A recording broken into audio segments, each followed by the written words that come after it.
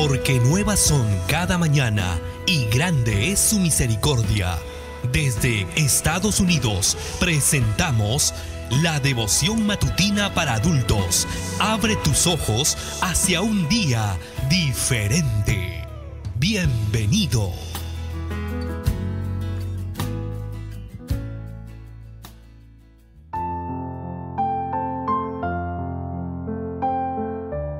Feliz inicio de semana, te saluda tu amiga Merari Medina. El devocional para el día de hoy se titula Justo y el Justo. Esto es bueno y agradable delante de Dios, nuestro Salvador, el cual quiere que todos los hombres sean salvos y vengan al conocimiento de la verdad. 1 Timoteo 2, 3 y 4.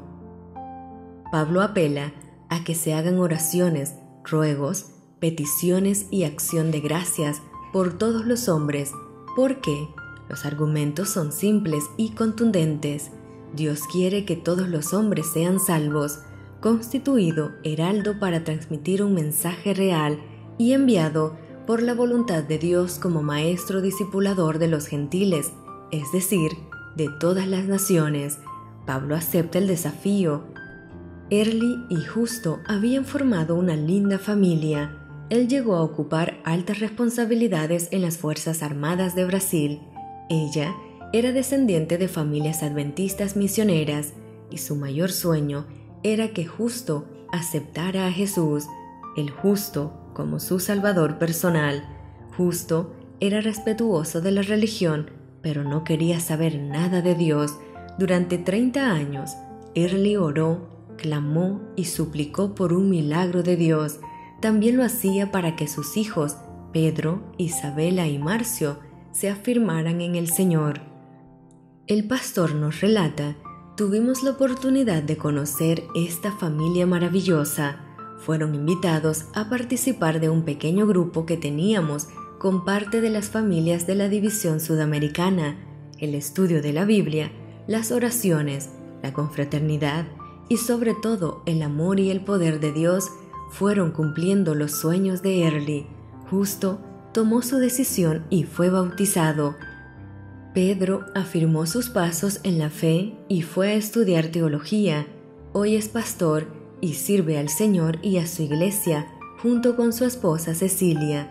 Isabela estudió psicología y hoy es una profesional que camina en los pasos de Jesús. Por Marcio, la familia sigue orando Pablo dice que vamos a orar por todos, pero sobre todo vamos a orar para que todos se salven. Vivimos en el tiempo más solemne de la historia de este mundo. La suerte de las innumerables multitudes está por decidirse. Debemos velar, obrar y orar como si este fuese el último día que se nos concede. ¿Qué necesitamos?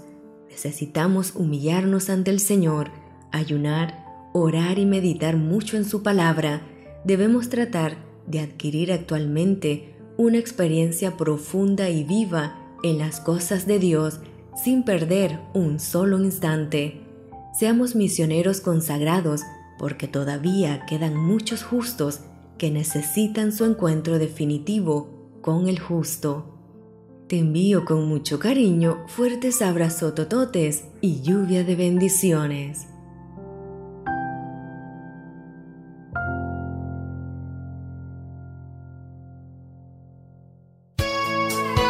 Gracias por permitirnos ingresar a tu hogar, tu auto, oficina o trabajo. Devoción matutina para adultos. Volveremos pronto para seguir conociendo más bendiciones para tu vida. Esta fue una presentación de Canaan Seven Day Adventist Church y DR Ministries. Hasta la próxima.